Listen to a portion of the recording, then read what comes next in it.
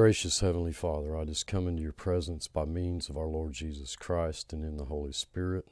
So very grateful and thankful for the opportunity that you've given us here together to feast upon your word, to examine that which is true, to search these things out so that we might grow in grace and knowledge of you.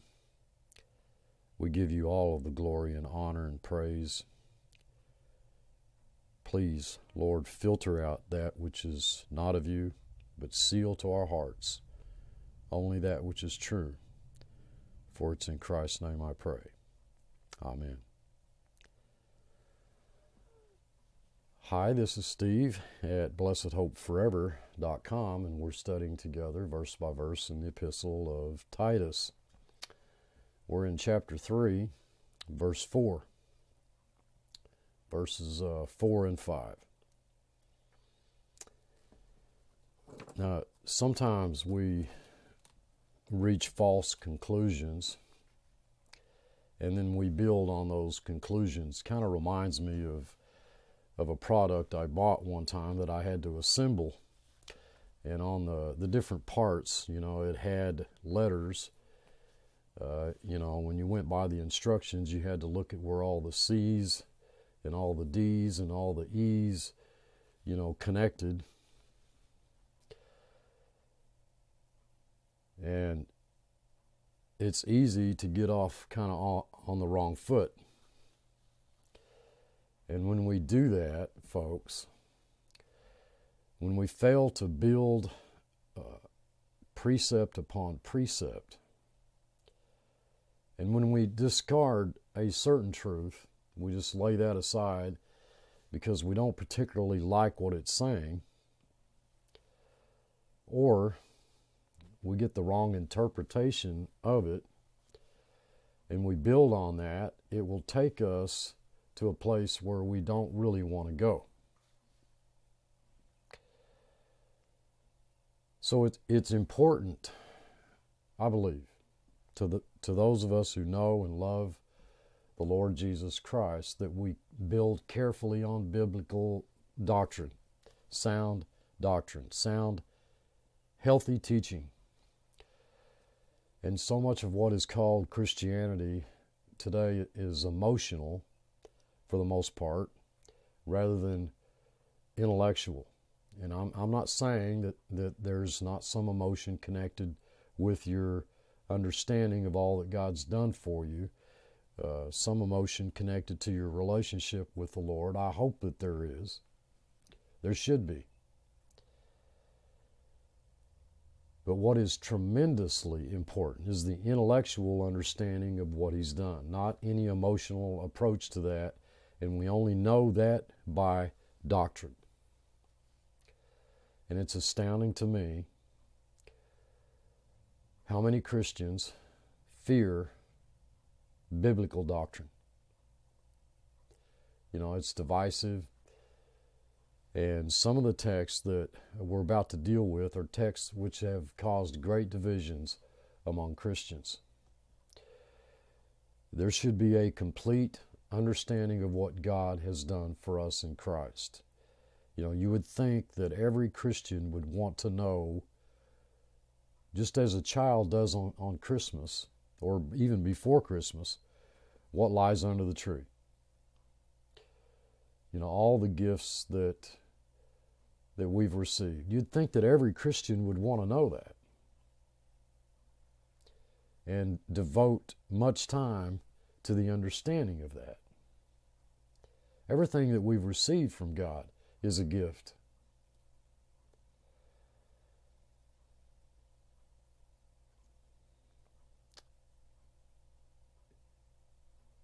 He died in our place, in our place. He didn't give himself in order to provide some chance of our being redeemed, some opportunity if we would was willing to accept it. He gave himself in our place. He acted first. He did something that is that was unchangeable. That he did something for us first before we ever were even capable of making any decision for him that had a result. What he did had a result. And that result worked itself out in our lives where that we came to understand the truth concerning who we are in Christ. He gave himself in our place, and he did that in order to redeem us from all iniquity, not some iniquity, but all iniquity, and purify us. And he did that. We are holy, unblameable, and unreprovable in his sight. Not because we live that way, not because we live in such a way that we could, you know, say that, you know, we are holy, but that we have been made righteous because Jesus Christ died in our place and he fulfilled the law. If you are under law, you placed yourself there, folks. You, you fell from grace. God declares that you are not under law, you're under grace, and sin shall not have dominion over you. That's what the word says. Most Christians seem to read that as though sin should not have dominion over you, and you're going to fight it and you're going to try the best you can. The truth of God's word is it will not. Sin shall not have dominion over you. God causes you to triumph, and you've been given the victory. Jesus Christ died in your place. He didn't die for you in some provisional sense. He took your place, and there's a result of that. You have been bought back from all iniquity and purified as a result of that doctrine, which causes us to arrange ourselves in an orderly fashion and submit ourselves to those whom He has placed over us to be subject to, good or bad.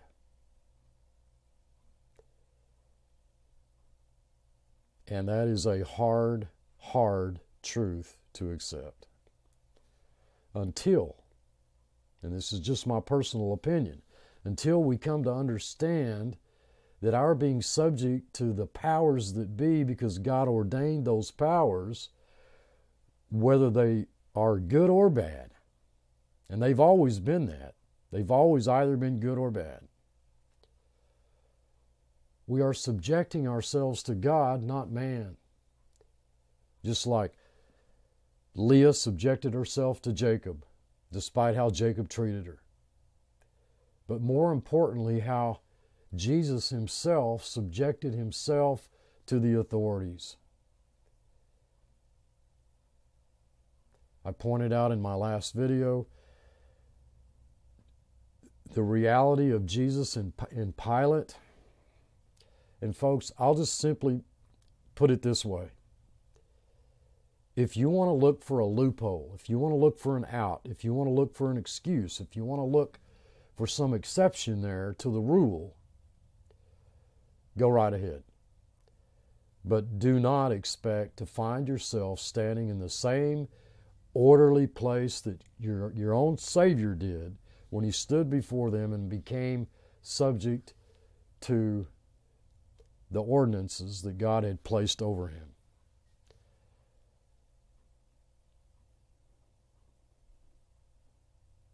So let's go on with our study here in Titus.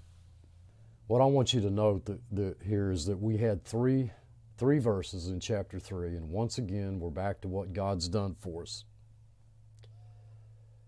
And this is absolutely characteristic of the Holy Spirit in Ephesians, we've got three full chapters on what God's done for us before he ever mentions any accountability, any responsibility on the part of the Christian. And here in Titus, we've been directed to doctrine, to what it does, back to doctrine, to what we should do, then back to doctrine again.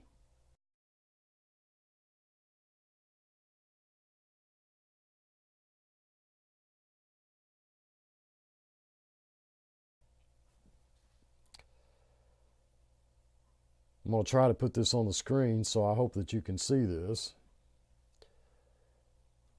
Verse 4 But after that the kindness and love of God our Savior toward man appeared.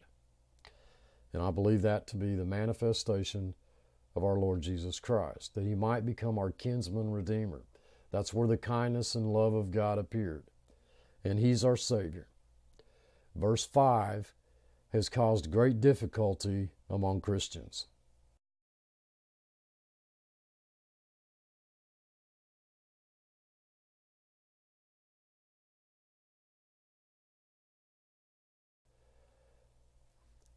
Not by works of righteousness which we have done, but according to his mercy, he saved us by the washing of regeneration and renewing of the Holy Ghost or Holy Spirit, as I prefer to say.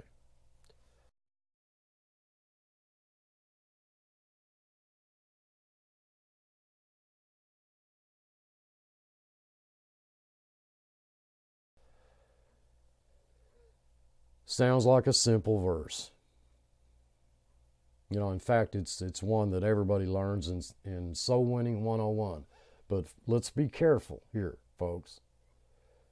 Absolutely not by works in the righteousness which we have done. Now, that ought to alert us that we need to be careful here with the word righteous. What is righteousness? Well, everybody knows that's that's not righteousness is not um, that's not breaking the speed limit. That's not committing adultery or fornication. It's not robbing banks. It's not bearing false witness. It's not shooting your neighbor. You know. Well, are you sure about that?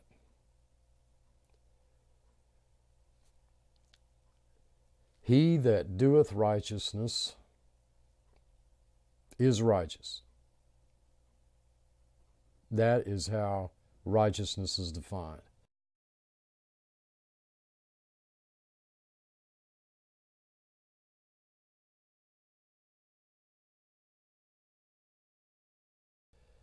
And, folks, we need to be careful of our definitions. If righteousness is an action, then we have a verse of Scripture that says, He that doeth righteousness is righteousness.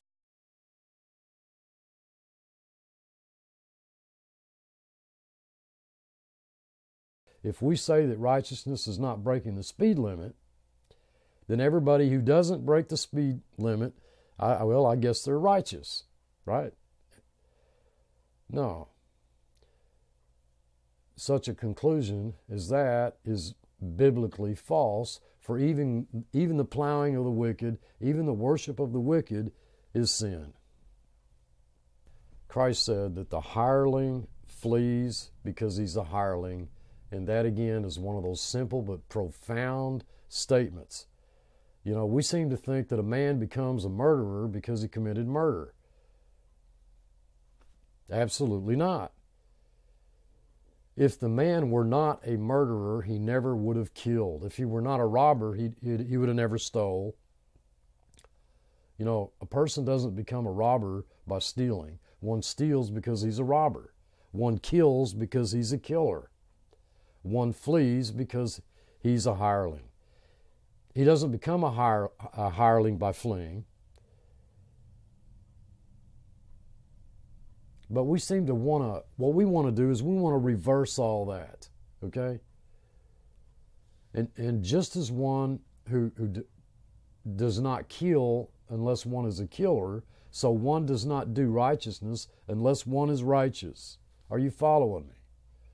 Therefore, many acts of what people may call righteous have nothing to do with the deliverance that is ours in Christ. For you to actually do righteousness, you must be righteous. Why do we always put the action first? If one is to do righteousness, one must be righteous. That ought to be absolutely apparent. So it doesn't have anything to do with righteousness until you're righteous. You have to be made righteous before. The Lord Jesus delivered you and me from the sphere of unrighteousness, and He placed us in the sphere of righteousness by the washing of regeneration and renewing of the Holy Spirit. Both of these are genitives. The New Testament is full of genitives. You know, it's like one stood back and took a shotgun and shot it full of genitives. So, what do we do with the genitives here? Now, those of you out there who, who are more familiar with the Greek, you know that when it comes to genitives, they can be they can be a subjective genitive or an objective genitive. And it's the direction of the genitive that's so important. You know, some translations will say faith of God, genitive, that's a genitive. Some will say faith in God, you know, that is our faith, even though it's a genitive that says faith of God. You know, there's a lot of translations today, a whole lot of them. And I'm not going to push any particular translation. I think they're all good if you use them right. But there are many modern translations that, that would put it faith in God, even though it's it it it says faith of God. Now, I think the reason for that, you know, this is just my own personal take on it, is because if they if they said faith of God, well, they couldn't sell it to the predominant Arminian theology that it exists today in, in most of modern Christianity. You know, you could have sold it easily 400 years ago because 400 years ago people believed the truth, but most of Christianity today has made assumptions which are not biblical and almost every modern translation will ignore that genitive. And I'm going to suggest that the noun washing is a noun which describes an action in the Greek grammar. When you study this, you know it's a noun which, which describes activity. We have washing as a noun of action in the genitive case, the washing of regeneration but if the noun describes an action, the direction of the genitive is assured. So we read this by, by regeneration's washing, possessive washing. That, in other words, that regeneration washes. Now, bear in mind that we have just set ourselves apart from most of modern Christianity today in which there is an entire system that teaches that you got to be baptized to go to heaven. Baptismal regeneration. That if you're not water baptized, you're not saved, which is very similar to the teachings of Romanism. And baptismal regeneration comes primarily from this verse. When the rule of Greek grammar requires that it is regeneration that washes not washing that regenerates. Are you following me?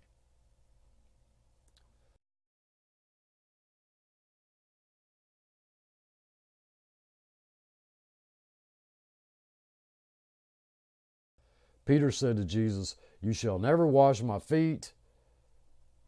And, and what did Jesus say? Jesus answered and said, If I do not wash you, you have no part, that is, no, no fellowship with me. Where Peter then said, Well, oh, wow, if that's the case, well, then give me a bath. I'm paraphrasing there, of course. And then Christ answered and said, He who has bathed needs, needs only to wash his feet, but is completely clean, and you are clean, but not all of you. And he was referring to Judas.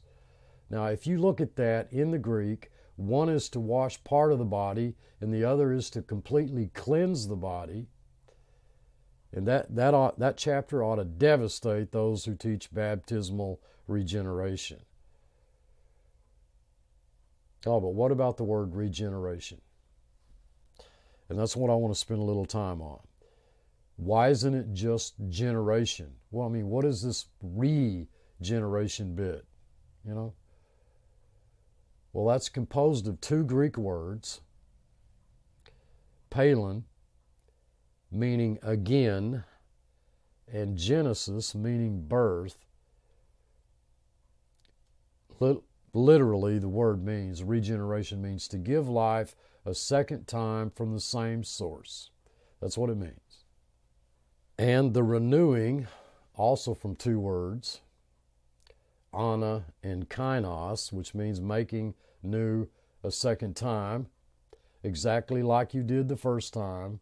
Wow, okay? So let's look at what theologians teach, and I guess you can take your choice. I, I've made a chart here, I'll put this up on the screen.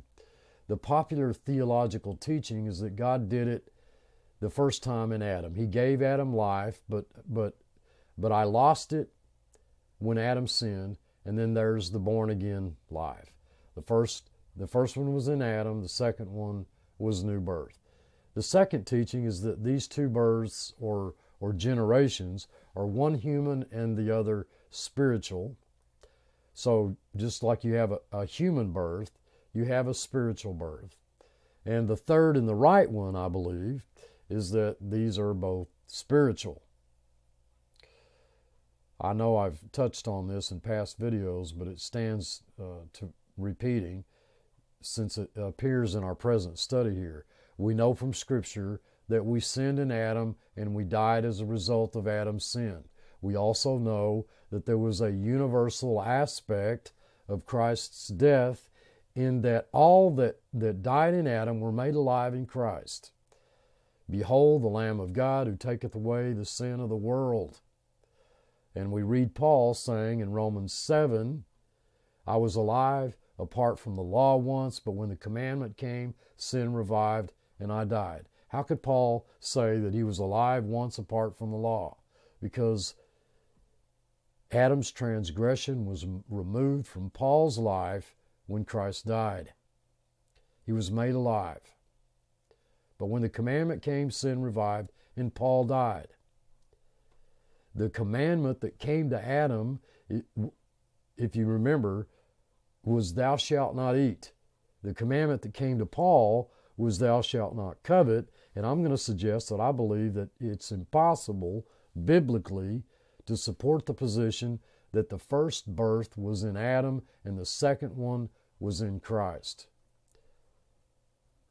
Human or spiritual, that, as far as I can see, only leaves the third possibility. That there are two generations, there are two givings of spiritual life, there are two births, not one human and one spiritual, but both being spiritual. I was alive in Adam, I died in Adam. I was made alive in Christ. The commandment came, sin revived, and I died in my own sin. That is my own sin. I can't, I can't blame Adam for my being a sinner. Then I was born again by God from above. Let me back up a moment. If I'm if I'm the not the non-elect, and if I'm not born again, even though my my my transgressions were removed, Christ his death removed my Adam's transgressions, but I was never born again. And the commandment came, sin revived, and I died. Now I died in my own sins. I'm twice dead, just like Jude says. And I stand before God at the great white throne judgment. There's no way I can blame Adam for my being a sinner because Christ removed my transgressions. He did that for all men, folks. The atonement was universal in the sense that this is this is why Jesus said, or John the Baptist said, Behold the Lamb of God who taketh away the sins of what? The elect? No, of the world. And this is all, also explains why children go to heaven. No child will go to hell. If you connect the dots, this is what this is where you're left. Okay? No child in hell. No, no non-elect person standing before God blaming Adam for, for well, why, why are you sending me to hell for something Adam did? I hope you're getting this, folks. Regeneration, generated twice. Okay? The first time we were generated was being made alive in Christ through his death. but then we died in our own sins. As Paul says in Romans 7, I was I was alive once apart from the law, but when the commandment came, sin revived and I died. So now I need born again. There's the other generation. Now we've got two generations regeneration, and I believe that defines the word that we're looking at in the text. And I hope I've explained this correctly. Because if I didn't, I probably ought to quit doing this. It's not complicated, folks. Two generations equaling a, or making up, defining a regeneration. So it was, it's not by works of righteousness which we've done, but according to his mercy, he saved us by the washing of regeneration and renewing of the Holy Spirit. It was regeneration's washing. That is, no works on our part were allowed by God. You know, ask yourself, and I want you to, folks, to ask yourself where, where did Paul say that you must be born again. And don't you find that a little odd that he never used that phrase? Famous phrase. The truth is, he didn't. And he was probably the greatest evangelist that ever lived. Wrote, well, he wrote at least 13 epistles. Never wrote the words, you must be born again, or to be more specific, to say it more correctly, the Holy Spirit never, through Paul, wrote, You must be born again. And you would think that he would have said that someplace, but he didn't. If you were to look at the language, we use a different word. Ye must be born again when when is what the English says, must when Nicodemus was hearing, and I'm going to put this up on the screen, look at it Delta, Epsilon, Iota, a three letter Greek word, pronounced die, by the way. And Nicodemus knew that he had nothing to do with it. He knew it from the language. He didn't say, How can I do this? He said, How is it possible for this to happen to a man it is necessary, Jesus said, it is necessary.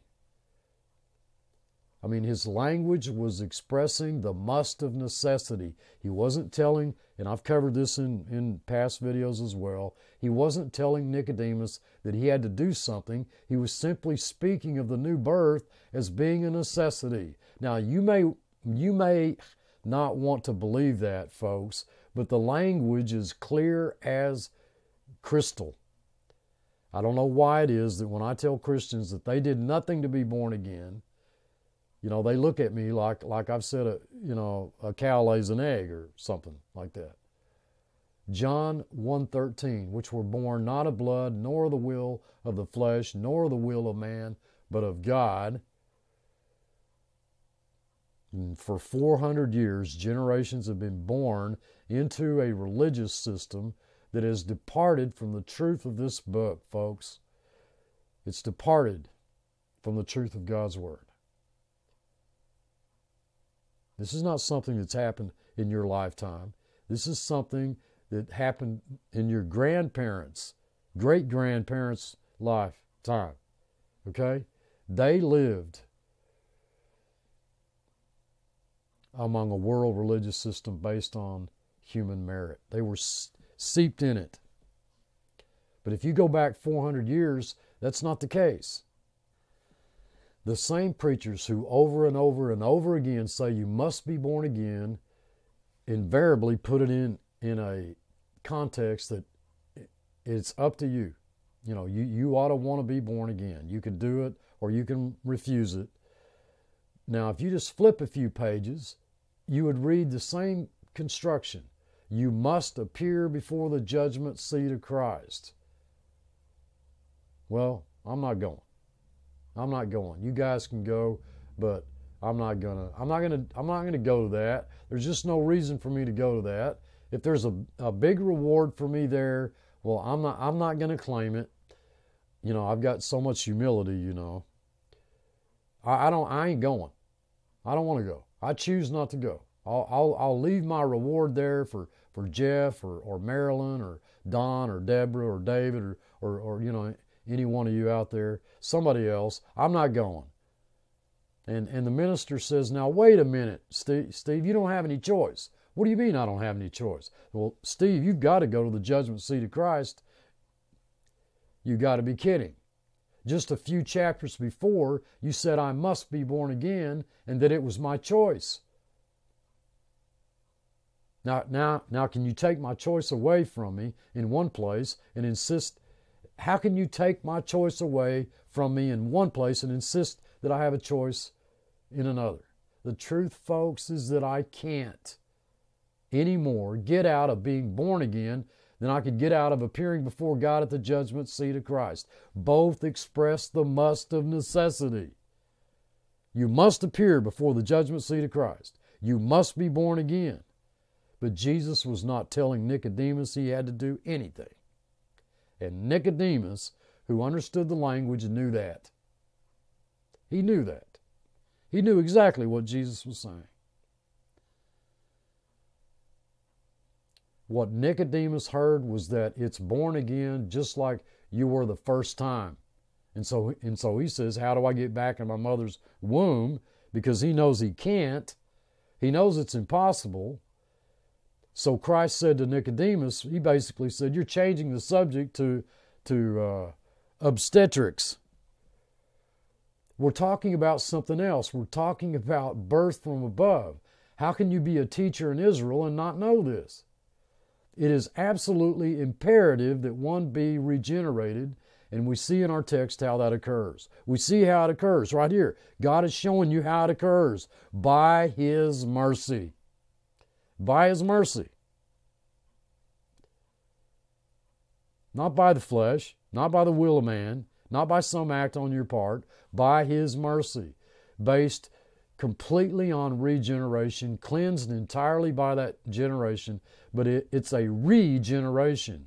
And the renewing of the Holy Spirit, except a man be born of water and wind, he shall not see the kingdom of God.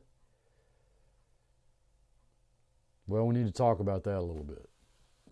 Because, you know, the translators understood that I probably knew what water meant but they recognized that anybody with my limited understanding would never know what wind meant. So they so they put spirit in there. So now they now they have Christ say, "Except a man be born of water and spirit, he shall not see the kingdom of God." One of the translators told me that Christ was using symbolic language when he said wind, and I say to the translator, well, that's very interesting. Was he using symbolic language when he said water in the same sentence? How can you say that it's symbolic language on wind, but it's literal language on water? And great numbers of Christians take that verse. That's the water of physical birth, you know, physical human birth. And the Spirit is something spiritual. Now, wait a minute. If one is symbolic, the other is symbolic. I only have to turn a page or two in the Gospel of John, and I'm told that the water is the Word of God. In Ephesians 5, now are you cleansed, that is washed. Washed is the, is the Word. By the Word which I've spoken unto you. Except a man be born by the Word of God and by the Spirit of God, he cannot enter the kingdom of heaven. Well, what would keep him out of heaven? Adam's condemnation. Judgment came upon all men to condemnation, so it must have been removed. There must have been, oh, listen, folks, listen. Listen carefully. There must have been an unlimited atonement aspect of the death of Christ to remove Adam's condemnation for all men, clearly declared in Romans chapter 5, clearly inferred in, in Revelation chapter 20. They, they were judged out of the books according to their works. Well, they don't need to be judged according to their works. They sinned in Adam. They only need to be judged according to Adam's works unless unless they were justified with respect to Adam's work. So you were alive, you died in Adam, you are made alive by the Word of God because Jesus Christ removed Adam's condemnation. You died in your own sin. I was alive once apart from the law, Paul says, but when the commandment came, sin revived and I died. And so you are regenerated the second time by the Spirit of God, not by anything you did. The text is clear. Not by anything you did.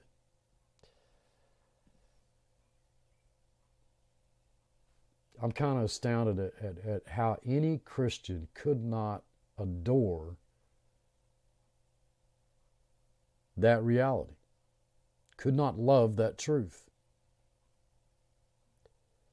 Oh, but Steve, it's got to be by something I did. For as by one man's disobedience many were made sinners, so by the obedience of the one shall many be made righteous. You're made righteous, therefore, you can do righteousness.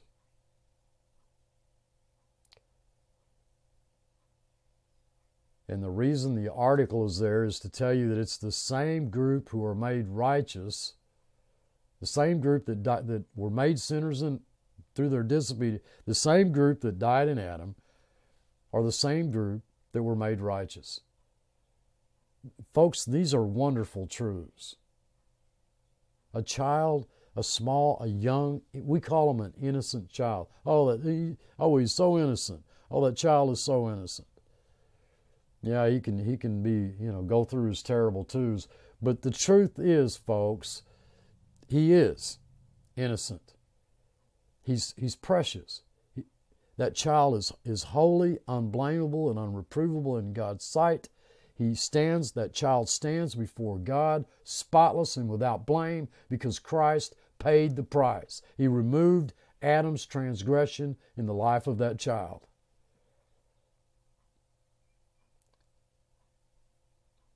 He was generated. The child was generated. And despite what you, you want to believe, that child is capable of doing righteousness. But there comes a time and God doesn't give the age, then it's probably a good thing He didn't.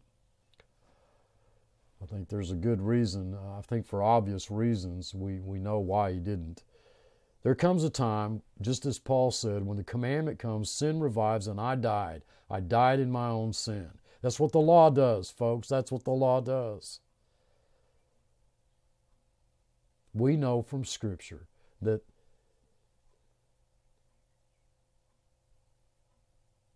where the power comes from. That the law is the strength of sin. If you put me under law, I'm, going to break it. Okay? It's not that the law is not holy, righteous, and good. It's that I can't keep it. And that was proven with Israel. But sin shall not have dominion over us because we're not under law but under grace. And when you put a Christian under law, you are not helping him, folks. Let me tell you, you're not helping him. You're throwing gas on the fire. That's what you're doing. Because the law is the strength of sin.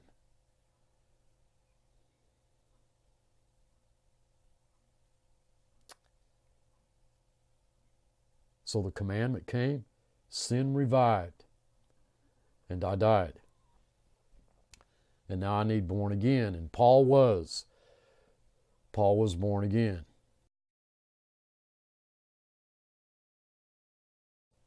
As were you, and as, as was I.